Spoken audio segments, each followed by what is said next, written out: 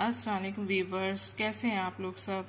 Welcome to the my new video आज मैं आपको करी पाउडर की रेसिपी बताऊँगी। करी पाउडर जो होता है, किसी भी सालन में आप डालेंगे, गोश्त का हो या सब्ज़ी का, उससे उसका लुत्फ वाला हो जाता है। बहुत ही सिंपल मसाले हैं इसके। आइए मैं आपको इसके मसाले बताती हूँ। सौंफ एक खाने का चमचा भुना हुआ।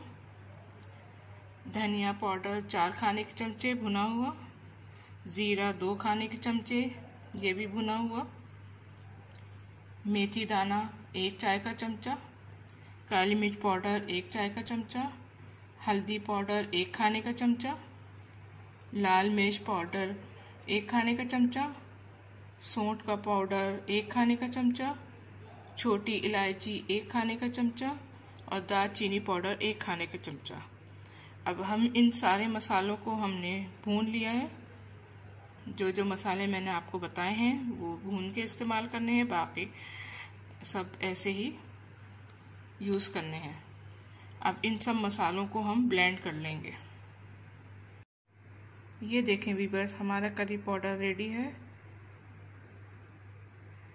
इसको आप किसी भी सालन में डालें। सालन बहुत टेस्टी हो जाएगा। आप इसको एक दफ़ा ट्राई ज़रूर करें। और अगर आपको मेरी वीडियो पसंद आई है तो इसको लाइक करें शेयर करें सब्सक्राइब करें और बेल आइकन को प्रेस करना ना भूलें।